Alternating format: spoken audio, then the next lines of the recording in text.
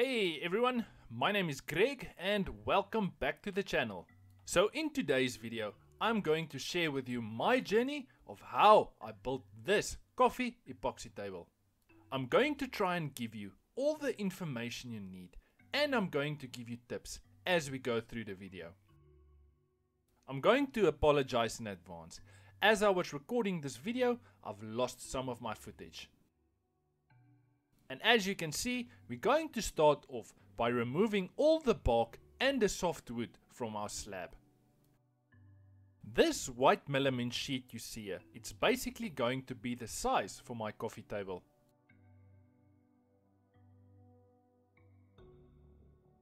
Now, as I was placing my slab on top of the white melamine sheet, I'm basically checking, designing and visualizing how my end product will look.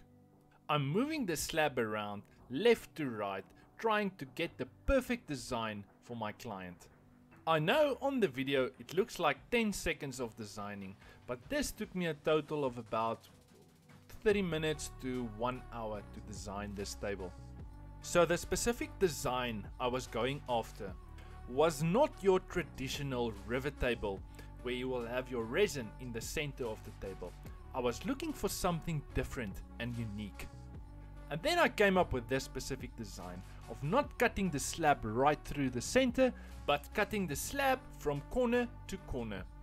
I'm placing a steel square tubing as a guide for my circular saw. I know a plunge saw will make the work much easier. I currently haven't got a plunge saw in my possession, I'm busy saving up for one, so hopefully in the future you will see me cutting all my slabs with a face tool plunge saw. But for now, my Makita cut-off saw will have to do the job.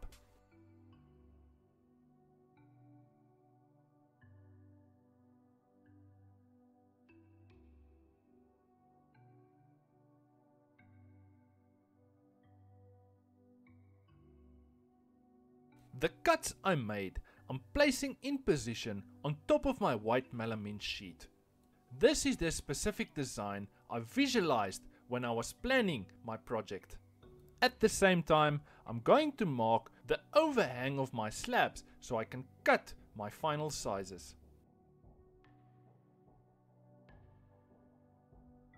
Using my Makita cut-off saw, I'm cutting all the edges of my slabs off to its final size.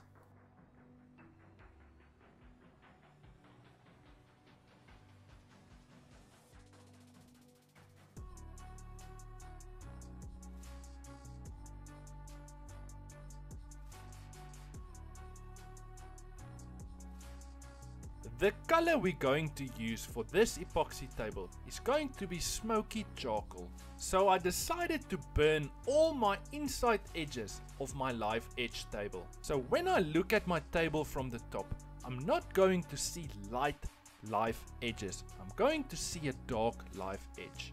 After I burnt all my edges, I came afterwards to sand everything down. That's just to remove the black dust from your live edge. I'm not going into too much detail of how to build a mold for your epoxy table. I am going to leave a link now of one of my previous tables I built. Please make sure to go and check it out. I am however going to give you a quick rundown. The next tip I want to give you, make sure to build your mold slightly bigger. So afterward you can come and cut your table to its final size. I'm just using a nail gun to fasten my sides, you honestly can use screws but I'm finding a nail gun is making my work much faster. And you need to make sure that the sides of your mold is slightly higher than your slab. You need to apply silicone on the inside edges of your mold. This is to prevent the epoxy from leaking out. The next step I want to give you is to make sure that your mold is sitting 100% level. This is to make sure that once you pour your epoxy, it's not going to be thicker on the one side then the other. Now applying a thin layer of wax release agent. This is to make sure that your epoxy is not going to stick to your mold. Make sure you apply it to all the corners and the sides of your mold. Wait about 10 minutes and then you can come and wipe it off.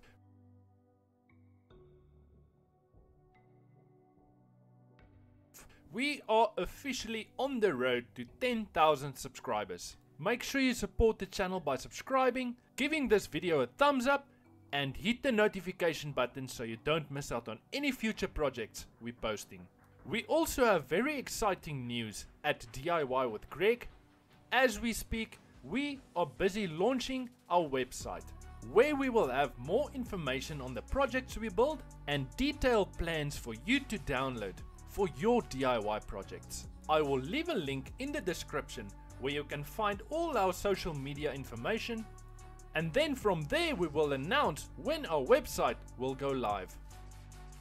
Working out the amount of epoxy we're going to use for this project, we need to work out the volume and that's a simple calculation by length times width times height. And then we need to convert our volume into kilograms. In the near future, I will definitely make a video and going into much more detail of how to work out the amount of epoxy you're going to need for your builds. Adding the color pigment to my resin and this is also one of the next tips I want to share with you. The specific epoxy I'm using I can only cast 10 to 15 millimeters at a time, which meaning I'm going to do 3 to 4 pours on my project. And to have the same color consistency on each pour, I'm going to add the color pigment in my main batch of epoxy.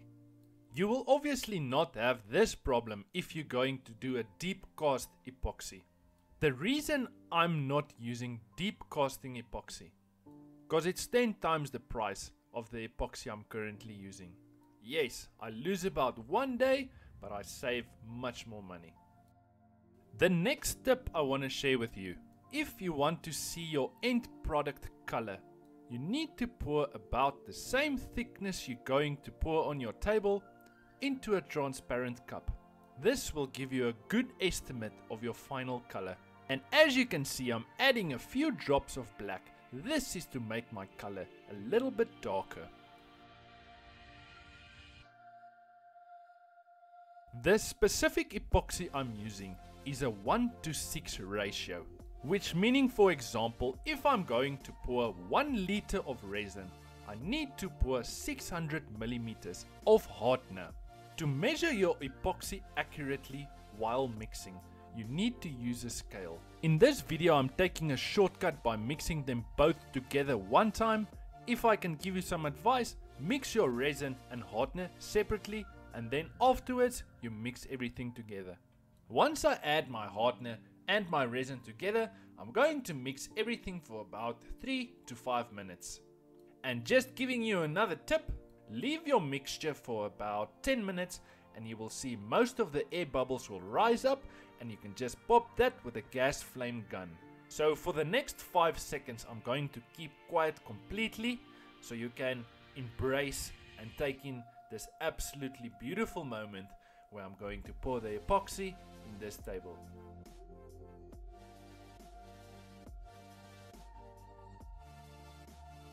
So that being said, that's your 5 seconds.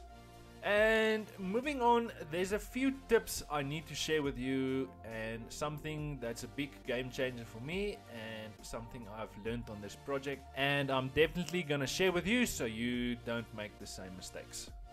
So the first thing I want to share is I see on a lot of social media pages and woodworking uh, epoxy YouTube channels these cross beams I've got across the table is just basically to keep my slabs down. Now I've seen on a lot of YouTube channels they are using beams that literally can keep up buildings. It's not necessary to have that bigger beams um, across your table to just to keep your slabs down. So that's the first thing. The second thing I want to share with you is this is a woodworking shop. So there's obviously a lot of sawdust and you need to make sure that your cross beams are absolutely 100% clean while you're doing your pouring because the slightest movement might cause the sawdust on your beams to fall down. That being said, in the same breath, I also want to share with you um, the buckets I'm using where I'm pouring my epoxy in. The floor is obviously sometimes also has small dust particles on and you're moving the bucket so many times around the table, over the table and there's a big chance for that dust particles to fall inside your epoxy table. So you need to make sure that your buckets are also 100% clean. So after I've done my first pour, I waited about 10 to 20 minutes and you will see most of the air bubbles will come up and you can just pop that with a gas flame gun. And for this specific project, I plan to do 3 to 4 pours and according to our supplier's specification, we need to wait between 4 to 6 hours in between every pour. And there's another big tip I want to share with you and something that I've learned on this project. So the area I'm from in the world is called South Africa, Pretoria, and it's currently winter where we are now. It's the month of June and every time I plan to do a epoxy pour, the day before I make sure everything's in place. So I'll come back in the morning and the shop will be quite cold meaning the epoxy is cold. And you will see as I'm doing some of the pours it's the the epoxy is not that liquidy. It's very uh, it's a very thick base epoxy. So I need to have heat regulation in my shop which obviously I can't afford now. And I'm planning to have a very big drum with warm water. And before I'm going to do my pour I'm going to add my epoxy bucket inside this warm water Leave it for about half an hour so my epoxy can be more liquidy than a very thick base epoxy. Meaning that the thick base epoxy makes it very difficult for the bubbles to come up. If it makes any sense what I'm trying to explain.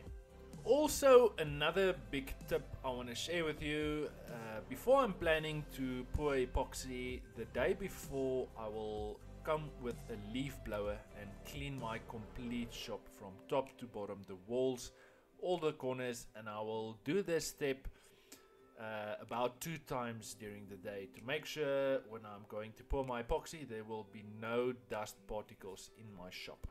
So once you're done casting your epoxy, according to our suppliers, you need to wait between 3 to 5 days before you can remove your table from the mold.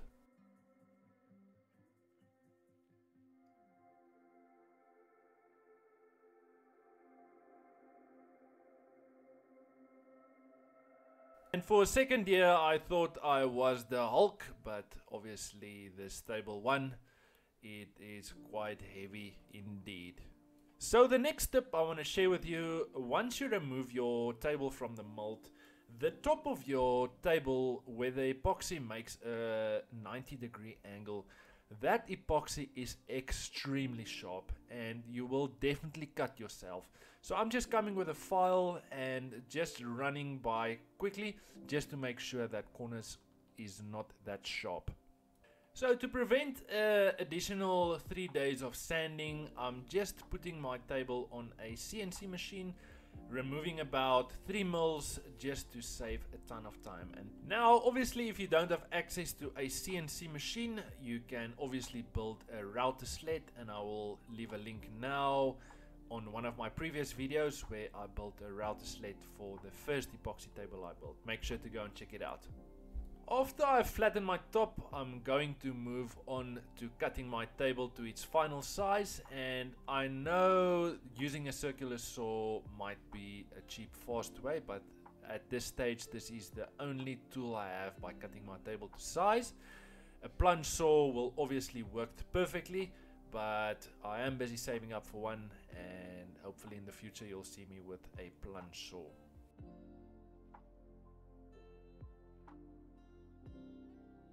I'm going to start off by sanding my table with a belt sander and 80 grit.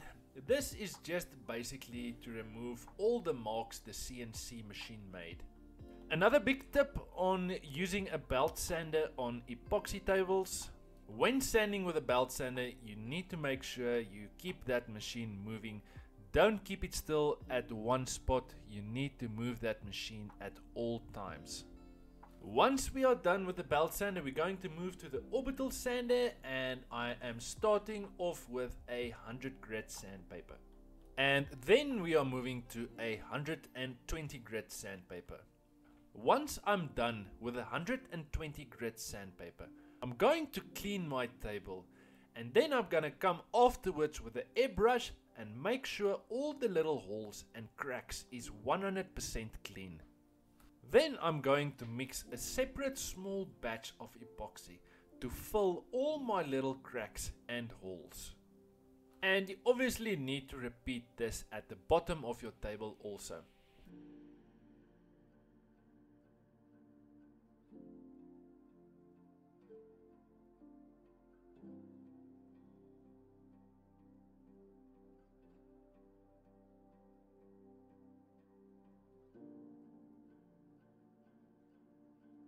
To fasten the steel legs we designed and manufactured to my epoxy table, I'm going to use threaded inserts.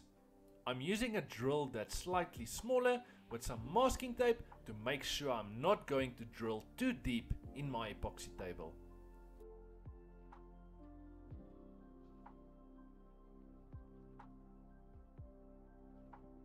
After I've drilled my holes, I'm coming with a countersink bit to make sure once I'm going to fasten my threaded inserts, it's going to sit flush with my table.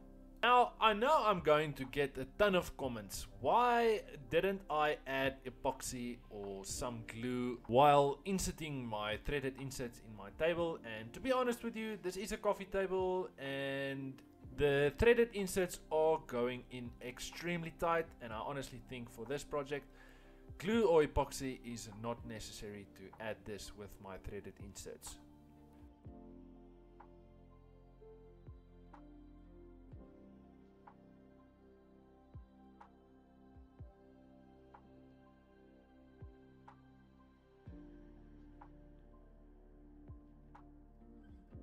I'm sure you don't want to see me recording myself where I'm sanding this table for two days, so I'm going to give you a quick rundown.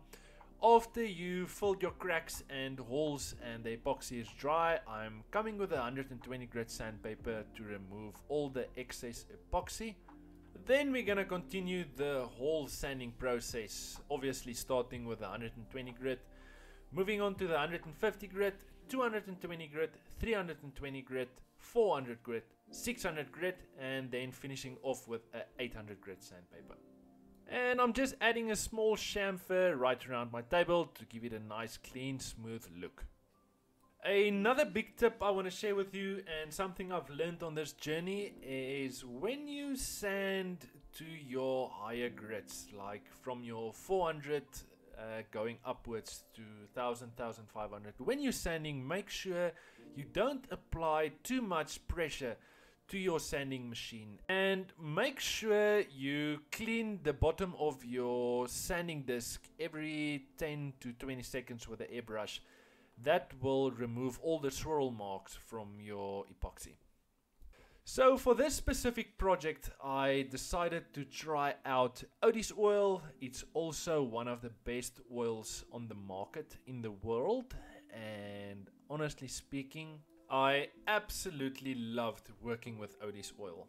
First of all, the first thing I've noticed when I open the bottle, the smell is extremely nice. And I'm going to start off by oiling my table using a product they call Super Duper. It's a product you can apply to your wood and epoxy. Leave it for about 15 minutes and then you come afterwards and wipe it off. And you need to apply the Odie's oil using a circular motion. That's the best way for the oil to penetrate the wood.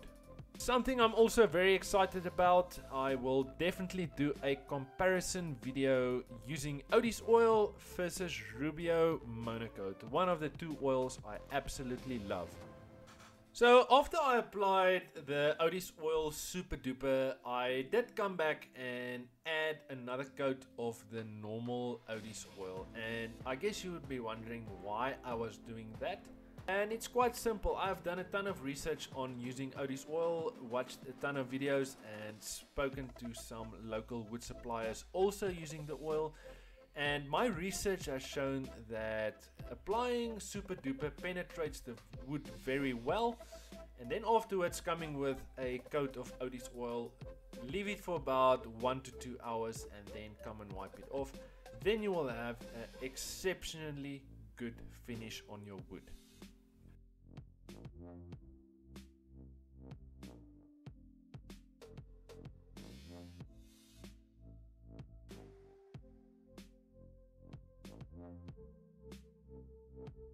Before I'm going to leave you with the final product, make sure you subscribe to my channel, like this video, and please leave me a comment below.